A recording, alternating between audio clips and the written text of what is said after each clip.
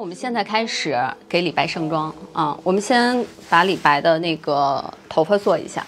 嗯，现在由我和我们的剧院的一个优秀的化妆师张媛老师一起啊，我的好搭档，我们一起开始。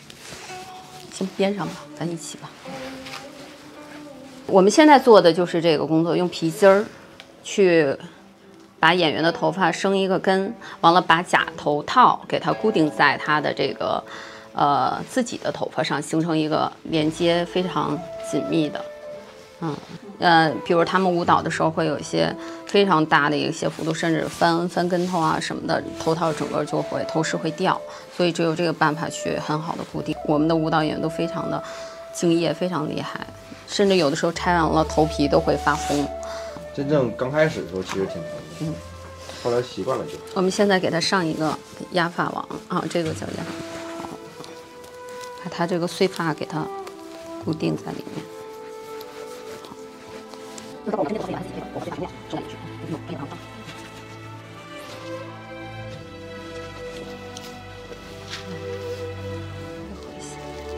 大家看一下啊，这个假头套其实和大家经常在影视剧里看到的那种古装戏的头套其实是呃一样的，会给它用一些花白的这个形象啊，这个挑染，包括护须啊，都会刷上。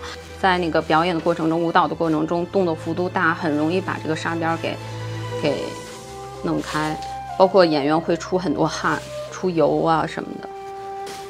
那我们这个纱看到吗？我们这纱都是双层纱，双层纱，而且纱比较厚，比较韧性好，不像影视里就是非常隐形的纱。影视剧里你基本上近特写，你近距离看都基本看不出来，都是那种进口纱来做的。但我们这个就必须双层纱，要不一咧就撕烂了。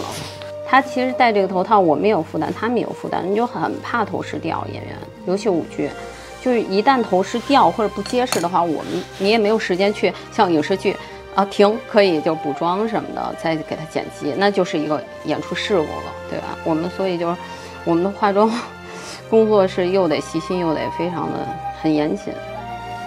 你看，我们就粘的时候我会得用力。要不粘不结实，而且我们随时在演出的这个过程中，从头到尾，除了给他们抢妆，化妆师都要在两侧看，如果有开呀，或者说因为出汗沙边开，都要及时的给他补救，刷一点层次头发，就有点像，呃，咱们生活里那种挑染，只不过给它挑成白的，但我们可能做的夸张，这样的话在远处看，它可能就是那种，啊，有有有深有浅的这种有层次，对。就会很好，在在我们的这个舞剧的这个李白里就不能用人人造发，因为它会打结。那真发的话还相对好一点，但是怎么说呢？相对比起自己头发来讲的话，可能还是差了那么一点点。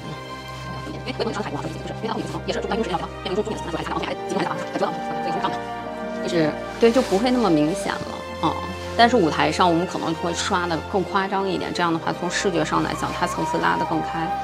效果更更明显一点哈，大概其实是这样。呃，我在化这个妆的时候，其实呃是要兼顾一下他这种中年和老年的这么一个形象，因为他那个在舞台演出的时候，没有时间让你更多的去给他改面部的妆，只能通过毛发来辅助。因为我也看过很多影视剧里的李白，包括话剧的呀，都看过。但是我觉得 我们的这个舞剧可以表达的更加的写意。因为用油彩来讲的话，它因为在表演的过程中它会出油出汗。如果说用一般的粉妆的话，它会脱妆。但是粉油妆的东西，它相对来说，你看像咱们戏曲里，中国传统戏曲就是在舞台上看就会很出彩，它就是也不容易脱妆，它就是戏曲。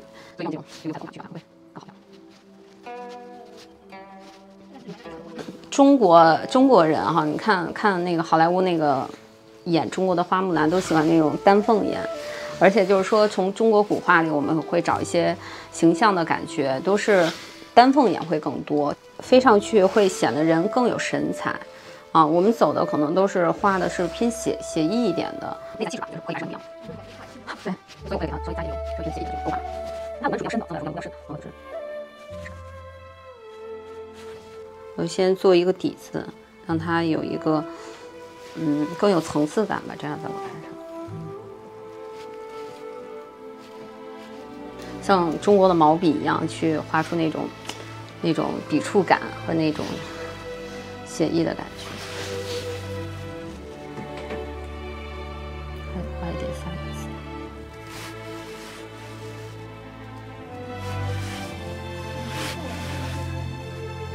对，对。然后我在这个舞剧里边，我会涉及到白、眉眼之中有一个是一个黑白的一个对比，线条的一个块面的对比，色彩的对比，还有一个就是比较写意一点吧，形式一点，然后和他这个花白头发有个衔接。其实头发上我们有时候也可以画两米，就很自由，也会衔接一下和它，嗯，衔接一下。好，这个不要吝惜，我们舞台是很不吝惜 颜料和胶水的。有时候他们在台上，我们抢完妆，我们会一直很担心的站在两侧盯妆、补妆什么的，就担特别担心胡子或者头套会掉。其实就是感觉自己也像，也跟他们在一一起在跳一样。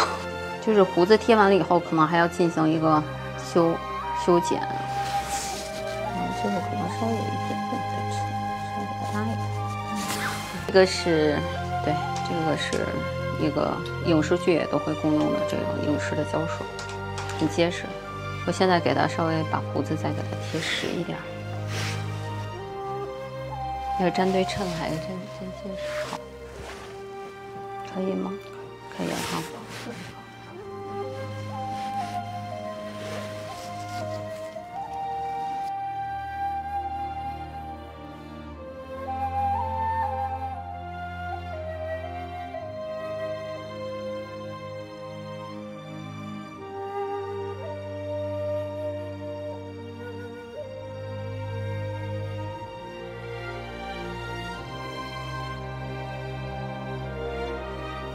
这样更生动一点。